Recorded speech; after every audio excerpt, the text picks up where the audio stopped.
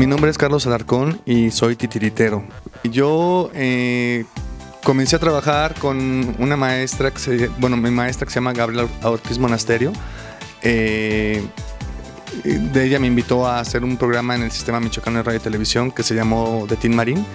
Y bueno, ahí fue como comencé yo con lo de los títeres. Eh, y fue algo que yo este, agradezco mucho porque aprendí muchas cosas, sobre todo cómo eh, animar los títeres en televisión, ¿no? que es algo un poquito eh, difícil al principio, pero bueno, fue, y ya aprender a improvisar también fue de las cosas que yo aprendí con, con Gaby Monasterio.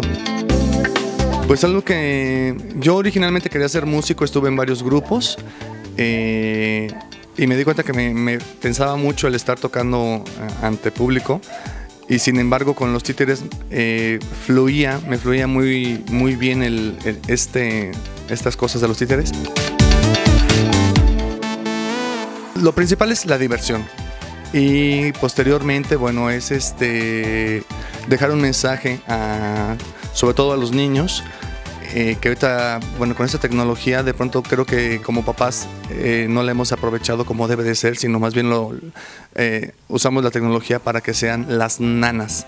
Entonces, al hacer yo mis presentaciones, pues trato de mover esa creatividad y esa imaginación que tienen los niños. Ese es uno de mis principales objetivos. Y bueno, y cuando trabajo para adultos, pues es meramente el divertimento. En Facebook es compañía Carlos Alarcón y en, pues es la única que tengo porque bueno tengo Twitter pero no sé usarlo entonces nomás lo tengo ahí realmente.